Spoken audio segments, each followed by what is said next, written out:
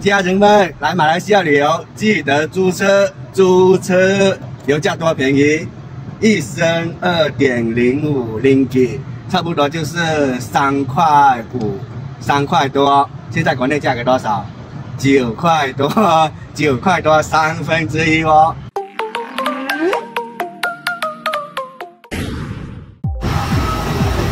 OK，欢迎来到美丽的兰卡威。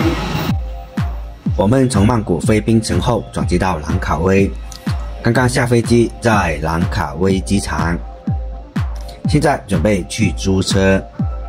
机场这里有好几个柜台都是租车的，我们就随便找了一个问，租车只要提供护照跟驾照给拍照就可以，因为我是用泰国的驾照。东盟十国之间是互相认可的，所以没有问题。中国驾照我估计也可以，因为岛上应该不会太严。OK，那在兰卡威我们就租了一个车的，很便宜，其实一天哦打完之后是八十零一，就是一百多，反正是一点五的那个汇率的汇人。那我们去拿车喽。那汽车其实有好几款可以选择。我们选了最旧、最便宜的车，不到十分钟就有人把车送过来了。修车的时候，我先拍了一下车上的刮痕，费事到时还车有问题来扯淡。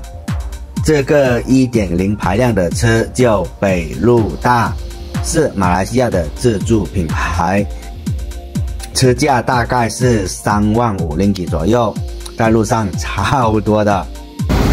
OK，那除了这个小车，我们准备出发喽。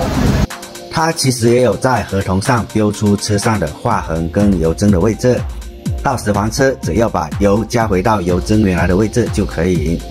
然后需要一次性付清三天的租车费加五十零几的押金。那我们现在开车去酒店 check in。这次来兰卡威，我们刚好四个人，但我们是分批来，分批走，所以机场接送都省了好多钱了。而且有了车，活动范围就大了很多。这两天我们差不多环岛两次了。我好像收到了一个罚单，但全是马来文，看不懂。我们停在这个格子里哦，然后他突然贴了这个东西。不知道是不是罚单？我知道的朋友可以说一下吗？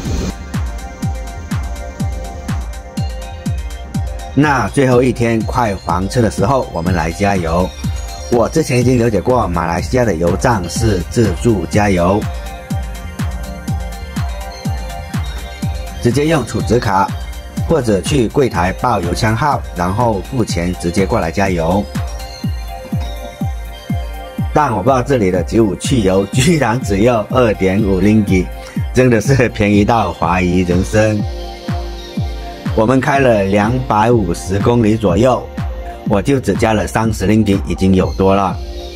The next day，那在槟城我们是选择租摩托车，一个呢是因为槟城算是比较大城市了吧，就汽车很多，而且呢。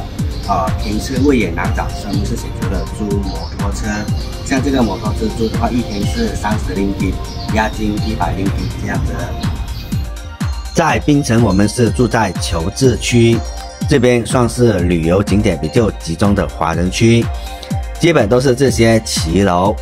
后边介绍旅游景点，我再详细说。如果不租摩托车的话，那就只能在这两三公里范围内绕了。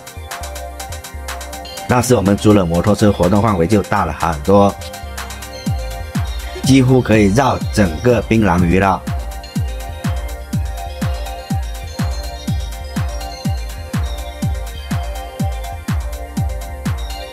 而且我们还特地开过濒危大桥，这条十三点五公里的跨海大桥连接了槟城州的冰岛跟威省，而且哦，我们开摩托车过这条大桥是免费的。所以租摩托车真的是明智划算。马来西亚的油价是全球油价超低的国家之一，只有一个原因就是他们有自己的石油资源。然后自给自足少出口，所以油价才能这么低，真的是太爽了。OK，那今天先到这里喽。关注我，点个赞，转发加评论，泰国飞速带你玩转东南亚。